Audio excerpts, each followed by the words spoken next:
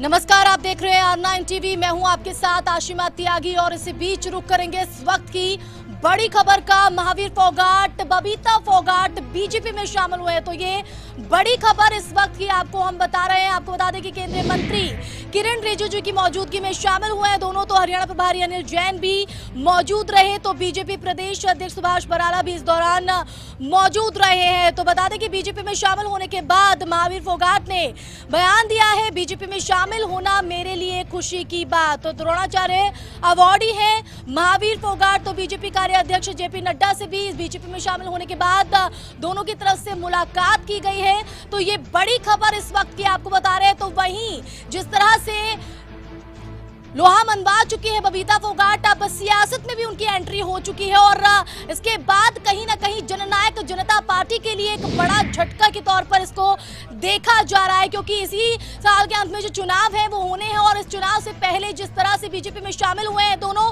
तो ऐसे में बीजेपी के लिए एक बड़ा यहाँ पर फ़ायदा होने जा रहा है। तो वहीं जननायक जनता पार्टी के लिए एक बड़ा झटका। तो महावीर फोगाट, बबीता फोगाट बीजेपी में शामिल हो चुकी है और बीजेपी में शामिल होने के बाद बीजेपी कार्यकारी अध्यक्ष जेपी नड्डा से इन दोनों ने मुलाकात की है। तो ये बड़ी खबर इस वक्त की आपको हम बता रहे थे। बाकी खबरों की अपडेट के लिए आप देखते रहिए आर नाइन टीवी